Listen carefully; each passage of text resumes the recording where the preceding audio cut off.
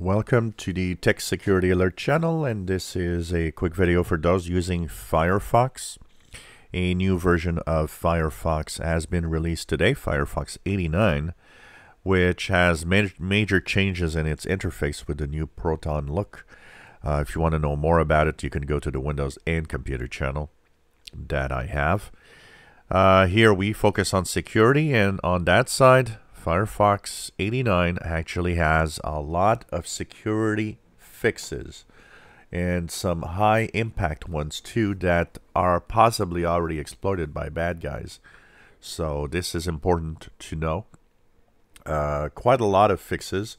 So uh, it's really, really important to have uh, some of them fixed. For example, there's one that high prior priority memory safety bugs that are fixed. Uh, there's another one. There's quite a few low and moderate ones also. Uh, password manager on Firefox for Android. So Android users have a security flaw uh, for sure. So there's some some stuff to check out in there. Uh, Firefox UI spoofing, uh, file names printed from private browsing mode, incorrectly related in preferences. All sorts of little things that can impact security, anyways. So if you're on Firefox, simply go on the upper right corner into the uh, lines or the hamburger menu. Go into Help, About Firefox, and it will update automatically to 89.0 today, Tuesday, June the 1st, 2021. So uh, just for security purposes, it's important to actually do a uh, browser update.